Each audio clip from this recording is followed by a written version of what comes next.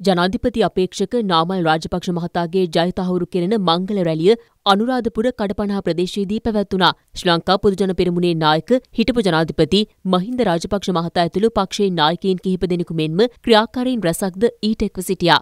රට ආරක්ෂා කරන්න පුළුවන් කියලා මහින්ද රාජපක්ෂ ක්‍රියාවෙන් ඔප්පු කරලා තියෙනවා මේ රට හදන්න පුළුවන් කියලා ඔප්පු කරේ නායකයා කවුද කවුද අධිවේගී පාර හැදුවේ කවුද වරාය හැදුවේ? කවුද ගුවන්තොටුපළ හැදුවේ?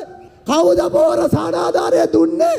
උපාධිය අරගෙන පාරවල් දිගේ ඇවිද ඇවිද හිටපු උන්ට කවුද රස්සා ටික දුන්නේ? මේ රට සංවර්ධනය කරන්න පුළුවන් කියලා ක්‍රියාවෙන් ඔප්පු කරපු නායකයා මහින්ද රාජපක්ෂ මැතිතුමාගේ පුතා ලබන 21 වෙනිදා තියෙන මැතිවරණයෙන්. අපි හැමෝම එකතු වෙලා අනාගතේ අපේ රට බාර දෙන තරුණ ජනාධිපතිවරයා බවට පත් කරගන්න නාමල් රාජපක්ෂ මැතිතුමනි මහින්ද රාජපක්ෂ කියන්නේ ඔබතුමාගේ අප්පච්චි විතරක් නෙමෙයි මේ මහා ජාතියේම අප්පච්චි. එතුමා අපි හැමෝගෙම අප්පච්චි. අපි අද බයක් නැතුව ජීවත් වෙන්නේ මේ රටේ එතුමා හින්දා. එතුමා මේ රටේ අප්පච්චි වුණා වගේම නාමල් රාජපක්ෂ මැතිතුමනි මේ වෙනකොට ඔබතුමා මේ රටේ සියලු අම්මලා තාත්තලාගේ ඒ ශක්තිමත් ආදරණීය පුතා වෙලා ඉවරයි.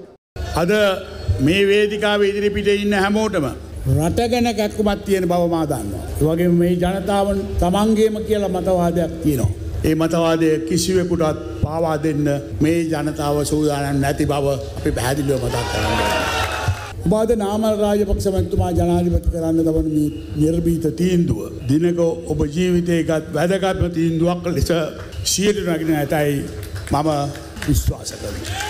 රටේ ජනතාව එදා අපෙන් ඉල්ලුවේ ඊළමක් හැදෙන එක නවත්වලා රට දෙකට කඩන එක නවත්වලා දෙන්න කියලා විතරයි වෙන මොනවත් ඉල්ලුවේ නෑ. අපි දන්න ඔබ ඒ කයිය නායකලට අවුවෙන්න නැතයි කියන එකත් අපිට විශ්වාසයක් තියෙනවා. අපි ගොඩනැගිච්ච දේශීය චින්තනය පදනම් කරගත් වැඩපිළිවෙලක් තියෙනවා.